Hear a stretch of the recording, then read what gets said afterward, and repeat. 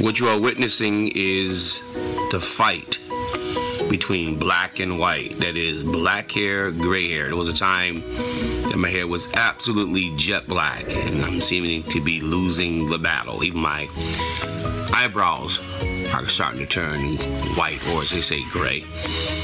It's a sign that I'm advancing into the latter years of my wonderful life. 60 is coming. On June 25th, I'll be 6 Lord willing. So, therefore, I'm going to celebrate it on the 24th of June. That's a Saturday, 12 noon. 2017 at the Bible Temple Nation Complex located at 3053 Main Street. If you'd like to be invited, then you should inbox me for an invitation or leave a request below in the comment box. Beware, your day is coming.